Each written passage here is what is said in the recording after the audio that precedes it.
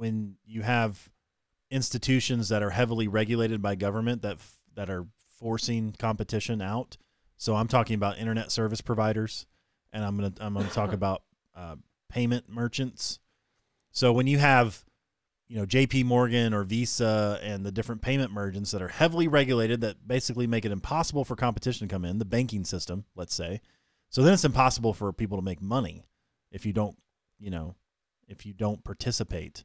Or internet service providers where they don't allow you to even host your own servers and then they've basically made it impossible for you to lay your own lines to get connected, you know, to the interwebs.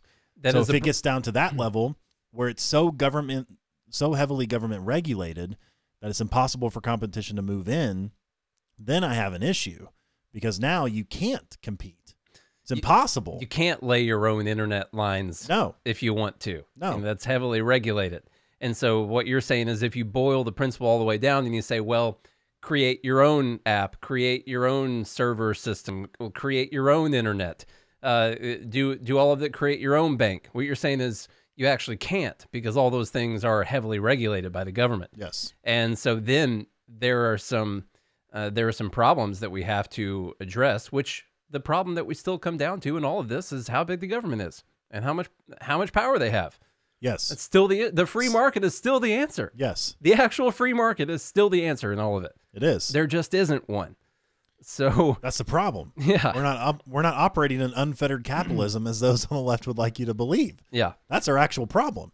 Uh, I'll read what uh, Maurice said about the private company thing. Um, he said, I think it's easy for us to say that they are private companies. They can do what they want. But the thing is, they really aren't private companies. These are companies that are essentially owned by the government and the government can use for what they want. We've talked about this a lot. Instead of capitalism, we are closer to fascism in the U.S.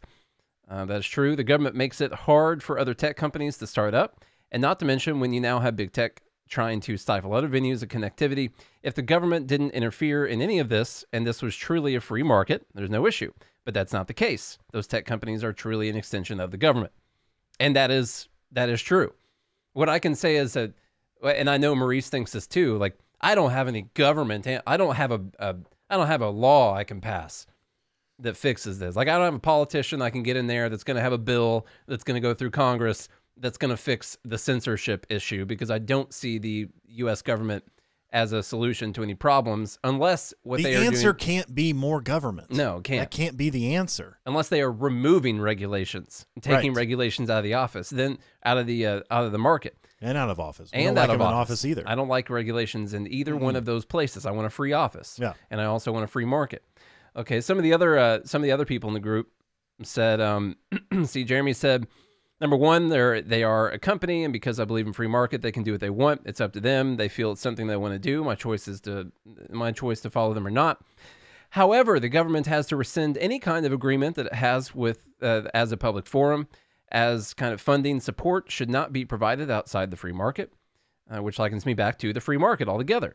It better be free. We're talking about an actual free market here, free of government in all regards, and uh, as well as free to fail if they don't offer what the market drives. And so we we see things like uh, these companies having government contracts.